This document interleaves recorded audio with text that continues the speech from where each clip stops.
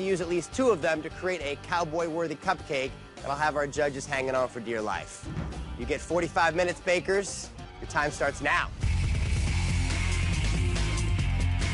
There's onions, steak, licorice, mutton. Um, I don't have any idea how to use those ingredients. We're gonna make the cornbread jalapeno cupcake. And we're gonna top it with a jalapeno buttercream and garnish it off with some cheddar cheese. This is a competition and I want to win. We need to go big. Jalapenos got a big flavor, a big taste. We need to give them that big taste. Woo! That's got a kick to it, baby. Heavy on the cinnamon and a little bit of nutmeg. I want to make sure that we can still taste the beans. Yes. I decide that I'm going to use the beans and corn. I haven't worked with beans before. Seems like they would hold a lot of moisture and give me a moist cake. Just mash them to like mush. Are they okay? There's 20 minutes left on the time clock, and I'm looking at our cupcakes, and they're still not rising.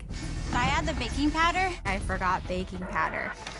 Let's add some to this and get them in the oven just in case. We add a little bit of baking powder to our leftover batter, and we get those ones in the oven. This is a disaster. I smell bacon, baked beans, and jalapeno. Hope there's no sissies at the judges' table. 15 minutes. Oh my God. I'm going to add a little bit of molasses to the brown sugar buttercream. I chose a molasses brown sugar Italian buttercream because I felt like it would bring out the bacon and maple and the beans. Wait a minute, wait a minute. Hold on. Um, it's breaking. Oh my God.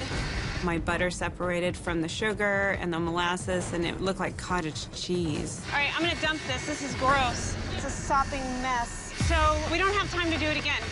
Let's just do marshmallow. Glad we made these. Me too. better. Oh my gosh. All right, come on, come on. I'm gonna torch this real quick. 10, 9, 8, 7, 6, 5, 4, 3, 2, 1. Time is up.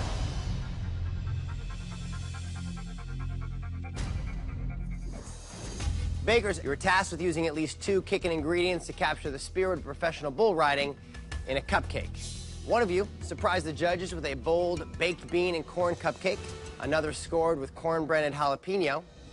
Yet one baker lost complete control.